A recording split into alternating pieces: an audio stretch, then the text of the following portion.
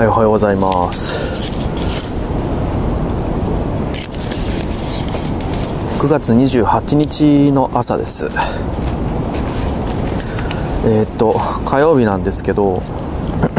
なんかトピックはというと、えーっと、昨日言ってた、あのー日曜散歩の素材の編集とか、なんかそういうやつですね。で、今これを撮ってる時点で、まだ、あの、編集と書き出しとアップが終わってないんで、まだなんですけど、というかさっきまでやってたんですけど、あーいや、めちゃくちゃ大変ですね。あの、編集が。あのーまず、いつも、こう、バーンって撮って、あの、色味とか、あと、音声のノイズ除去とかの処理をして書き出せばもうアップできる状態になっちゃうっていうのがデフォだったんであのクリップをまず分割して中に別のクリップを差し込むとかあとなんだっけあそうそうここここにここここにあの歩いた地図を入れますねとかって言っててまあさすがに今度こそやるかと思ってやったんですけどそれも 結構面倒くさい。なんか微妙 iMovie でやってるんですけどどうもなんだろう画像を差し込むとデフォルトでなんかだんだんウィーンってなんかズームインしていくみたいなモードになってて画像が。いやここにパッと出してパッといなくなってくれればいいっていうかそれが普通デフォなんじゃないんですかと思うんですけどそうなってなくて。かそれの設定はどうするんだとかピクチャーインピクチャーにするにはどうしたらいいんだとかなんか調べてたらまあそういうのもねあのー初回だから慣れてないから時間がかかるんであって慣れたらそうでもないんだろうなっていう感じはしましたけど、うん、そういうのが大変なんですよね。で、まあ、その作業自体が大変というのもあるしあのーそういうなんか小賢しいことをやればやるほど書き出す時の処理が長くなって今まだ処理が終わってないんですよね。でしかもですねあの最近すごい早寝早起きになってしまって夜作業がなんかできない。昨日なんか10時過ぎぐらいに寝ちゃってうん。全然夜作業できる感じじゃないんで朝やらなきゃいけないんですけどじゃあ6時半とかに起きて、まあ、10時から6時半まで寝てたんかっていう話なんですけどなんかちょっと最近早寝早起きになってから睡眠時間が伸びたってしょうがないんですけど、まあ、6時半に起きて朝ごはん食べてでちょっと今日9時過ぎから早いんですけど仕事があるんでちょっとバタバタするなと。なんかこの Vlog も撮らなきゃいけないし、まあ、撮らなきゃいけないわけじゃないんですけど撮る撮るしとかって思ってるとやべえなんか朝なのにこんなバタバタ忙しい。嫌だな。ってなるんですけどえっ、と何の話だっけ？あそうそう。で今私のメイン PC が一応 MacBookPro なんですけどその MacBookPro あの末っ子がリモート授業に使ってるんですよね。で8時半からホームルームが あってその後1時間目の授業とかにも全部あクラスルームとか、えー、と Google Meets とかを使うので持ってかれちゃうんですよね。で編集してるのがそのマシンなんでどうしよう。ってあの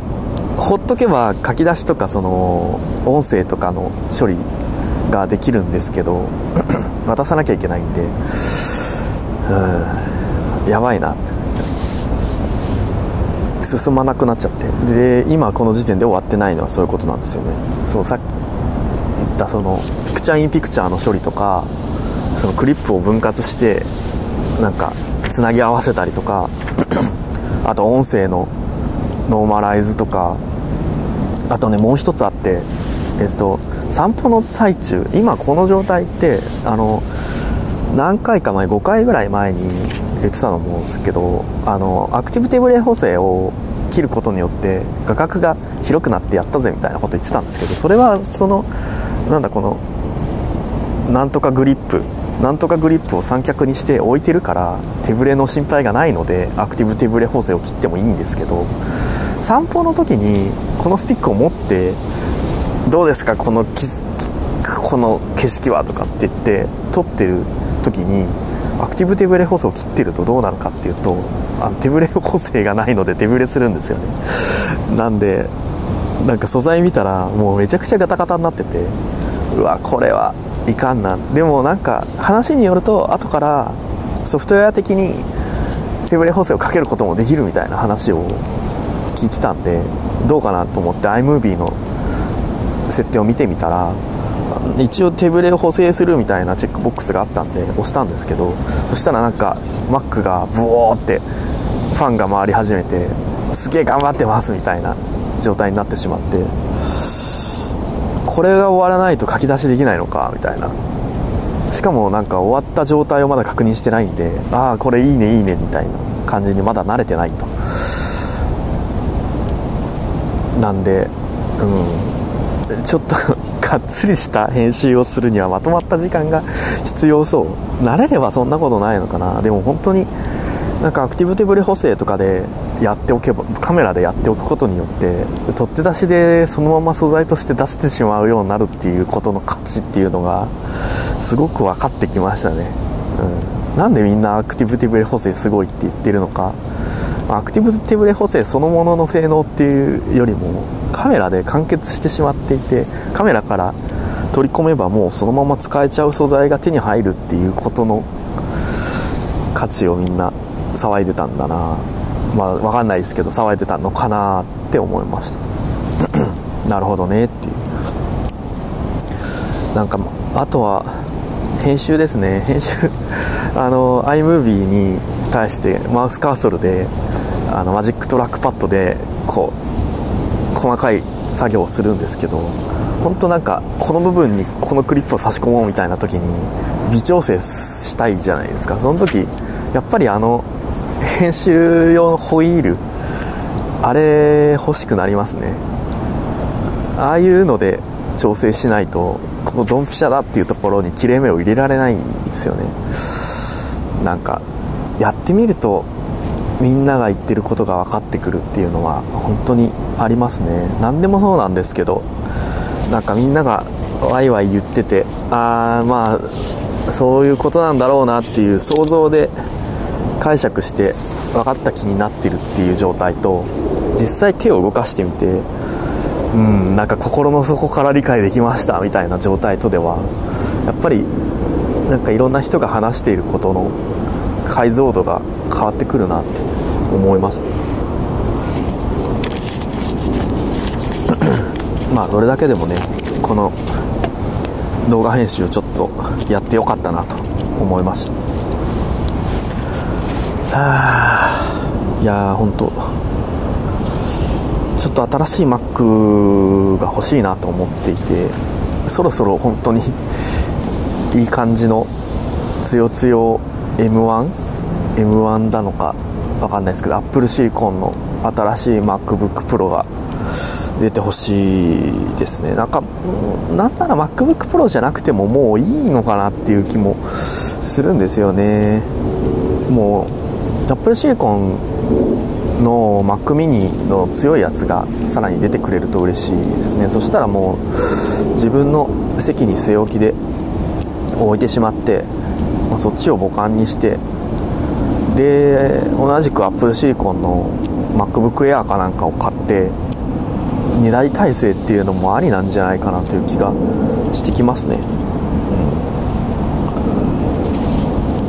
うん、なんとなくですけど。まあ毎回そんなようなことを言ってるような気はするんですけどね。